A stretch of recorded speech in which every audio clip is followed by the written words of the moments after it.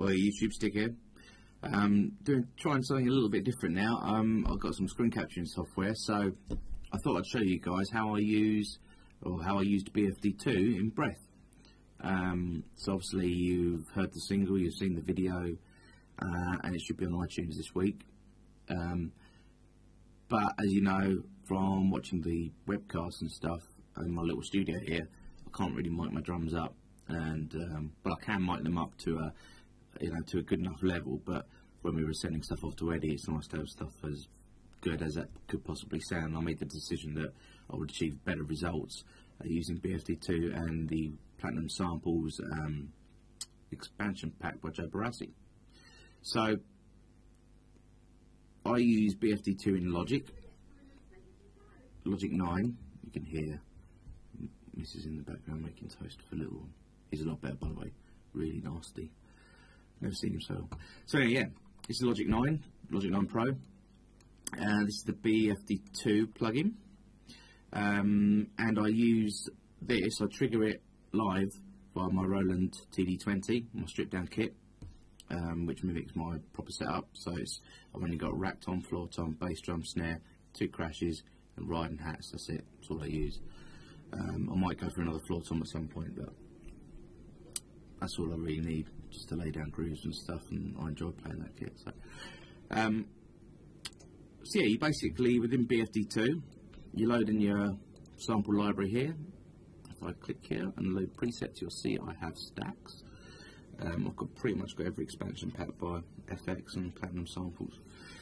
Um, and you've got a selection of different drum kits here. So these are all um, Andy Johns expansion kits. Um, some tasty ones that come with BFD2. The only thing with the ones that come with BFD2 is they're uh, less velocities. So when you're playing them as a V drummer, they're not as real to play. They're great for programming and stuff. So for you guitarists out there, if you grab yourself a copy of BFD2, you can use all the loops and stuff that, that come with it. And a lot of the expansion packs come with um, MIDI packs as well. And Platinum Samples even released a, a, MIDI pack, groove pack of jazz stuff, which is pretty cool. Um, so you just go through and choose your kit as you want. Um, there's loads of predefined kits, or you can make your own kit up, which is really easy. Just double click on the instrument, and then you can choose click kicks, um, which Eddie would really hate because they this they're called bass drums, and here everything's called kick. anyway, you can have things from dustbins, boxes, whatever, loads in there. Um, so yeah, I'll just let me play the track in the background. So you just load it in. Bring that level down a bit. Load it in, then you key map everything. So if I go to the key map section, you see it all jumping around.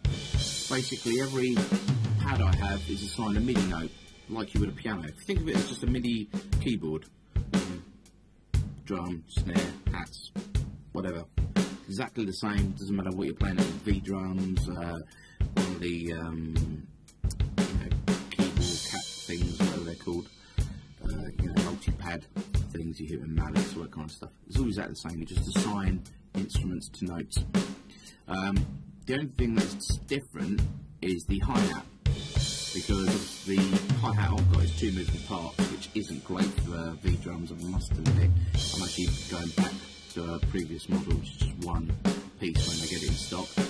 Um, but you have to assign the uh, hi-hat the different um, positions. So you've got closed, quarter, half, three quarters, open. And then of course you've got those positions with the stick on the edge and the, and the tip on the top. Again, different sounds. Um, and because it's V drums, the hi-hat is very, very sensitive. So the only thing I have to really edit is, this is the um, hyper editor within Logic. Um, if you guys use Cubase, then you've got the, the drum editor, MIDI drum editor, which is wicked. I use that. That's the first bit of software I used was Cubase, and that was only a few years ago. So I'm really new to all this. Um, and I found the drum editor really great because in the key, um, what's it called, piano roll, you can, if you assign a drum a uh, or a um, drum to a key, that key actually had the name of it. So when you look at it, you go around piano roll, you can see what's kick, what's snare, whatever. Logic doesn't do that, which is a bit of a pain in the bum. But you can create your own um, hyper editor sets. Uh, you can't save a hyper editor set, but you can copy it from one project to another, so you, you just end up rolling on. Um, we're going back to the foot control, the hi-hat. You can see here, this is my foot pressure. And I have to go in and manually draw in the position when you're playing grooves because it fluctuates so much and it can be really moody between the positions and occasionally you get the sort of sloppy sound and whatever. Um, the hi-hat pedal channel is me opening and closing the pedal. So you can hear in this section, this is me opening and closing hi-hat while I rock play on the ride cymbal. It's quite subtle. So this is the foot opening and closing. This is the, um, that's the foot pressure rather, how hard I'm putting down, opening and closing. And you can see I don't edit any of the actual notes I play. I tidy a few of them up, don't really move anything about. I like the whole purpose of me using this for me is I'm a real drummer, but I'm playing a virtual instrument. Some people would go in and they quantize everything, they move everything about, that kind of stuff. I'm not into that. I just literally think, right, it's like the ride cymbal, for example, can sound really moody. Um, so you've got the edge here and the, and the um, hit. So if I move these over, for example, it lets me down to the oop, down here to the edge, you'll get this washy sound, which sounds terrible.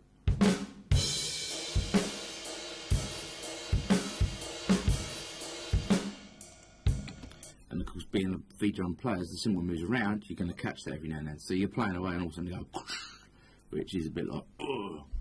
but knowing you have to, um, or I think of it as I'm playing, um, I hear what I'm playing, sort of thing, so I know what I'm going to correct as I go. Um, same thing with the snare. Uh, sometimes you hit the rim accidentally, or, it, or the snare will knock against the tom because I've got mine set up. It's not on a rack anymore; it's all on stands. So sometimes you knock things and you get these sort of things just tapping away.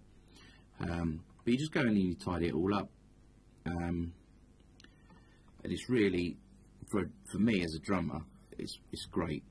I think you know I love recording my kit. I've got my drum workshop kit, which is spot on. Uh, I'm going to do a review on that for you guys as well at some point.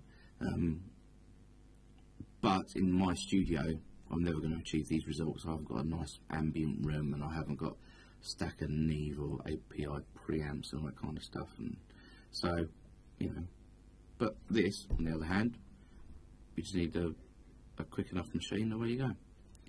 Um, the only thing with the BFD2 plugin running the Platinum Samples packs, because I run them at maximum velocity layers, which as you know from MIDI is 128 or 127, um, and BFD2 actually has 250 odd velocity layers. And the reason it has that is because it alternates the hits. You can set it so you never hear the same hit twice in a row, theoretically. Um, but of course the limitations are it takes up a lot of RAM. So although I'm only using a small kit here, so like I said that one's empty. That's it, I'm probably using about a gig of RAM there. Um, now I've got a Mac Pro that's loaded up with 14 gig of RAM. I know it's a bit excessive. Um, but Logic still has the limitations of, uh, as an application, only accessing, I think it's just over 2 gig or about 2 gig of RAM.